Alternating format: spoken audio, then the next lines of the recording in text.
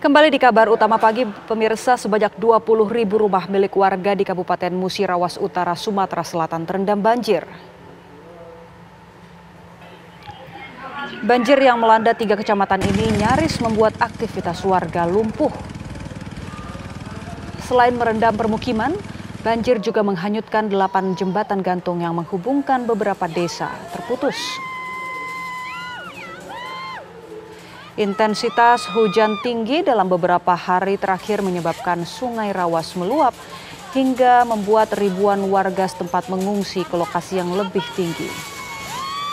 Banjir yang disebabkan meluapnya Sungai Rawas akibat intensitas hujan tinggi dalam beberapa hari ini menyebabkan ribuan warga setempat mengungsi ke tempat yang lebih aman.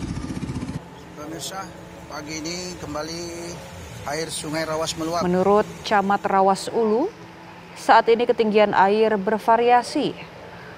Mulai dari setinggi 30 cm hingga 1,5 meter. Banjir dikhawatirkan meluas ke beberapa kecamatan lainnya. Di hari Kamis 11 Januari 2024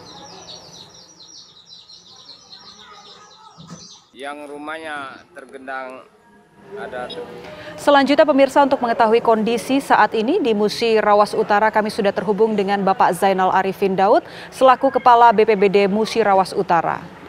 Selamat pagi Pak Zainal. Pak, wilayah mana Pak yang terdampak paling parah akibat banjir ini?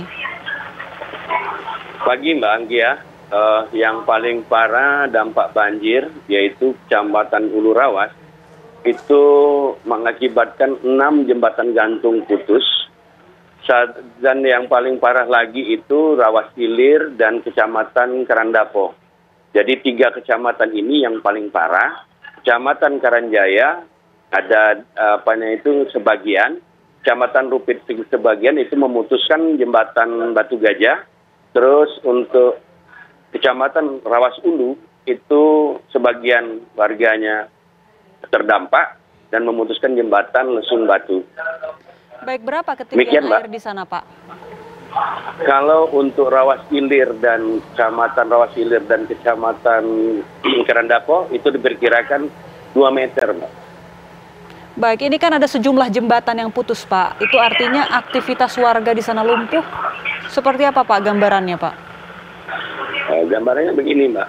Karena banyak masyarakat itu permukimannya di seberang desa Nah, jadi desanya itu ada dua, Mbak. Kayak lesung batu itu seperti lesung batu, ada lesung batu muda, ada lesung batu. Nah, yang di lesung batu lama itu lumpuh total. Jadi aktivitas masyarakatnya tidak ada sama sekali aktivitas. Baik, Demikian, sementara Mbak. untuk menuju ke daerah seberang begitu ya Pak, ini alternatifnya apa Pak? Untuk saat ini Mbak belum bisa Mbak, karena kita juga nggak berani Mbak, karena apa? Arusnya deras, terus ketinggian airnya melebihi biasanya sampai 2 meter gitu. Baik, e, warga di sana mayoritas mengungsi Pak atau memilih bertahan di rumah mereka masing-masing? Jadi begini Mbak, karena banjir ini sudah menjadi langganan di Kabupaten Musirawas Utara ini setiap tahun terkadang terjadi empat kali banjir.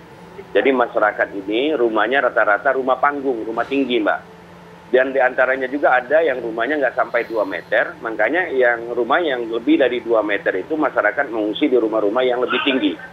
Baik, uh, Pak Zainal tadi mengungkapkan bahwa ini banjir langganan begitu ya Pak. Sebenarnya menjadi faktor penyebab selain intensitas hujan yang tinggi apa sih Pak?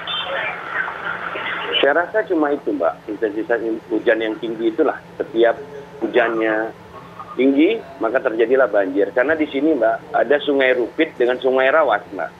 Jadi apabila Sungai Rupit dan Sungai Rawas ini meningkat tinggiannya di daerah, di daerah iliran pasti banjir, Pak. Baik.